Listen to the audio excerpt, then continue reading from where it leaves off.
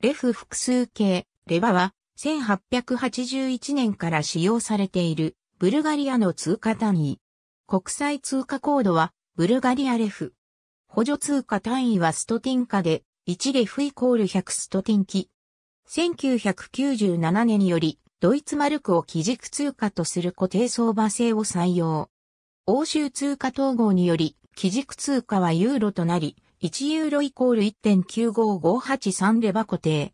19世紀頃のブルガリア語では、レフは獅子という意味を持っていた。これはオランダでターラー銀貨をもとに発行されていたライクスダールダーという大型銀貨に由来する。ライクスダールダーはライオンの像を彫っており、それゆえ、リューエンダーラーという別名があった。リューエンダーラーがオスマン帝国領内に流通し、ブルガリアやルーマニアではライオンが銀貨の別名になった。1999年7月5日、デノミネーションが実施され、1009、レバは1新レフと同等の価値とされた。デノミネーション前の9レフの国際通貨コードは BGL である。2020年7月10日、クロアチアクーナと同時に ERM に加盟が承認された。いずれも、レフと同じ獅子という意味の通貨を使用している。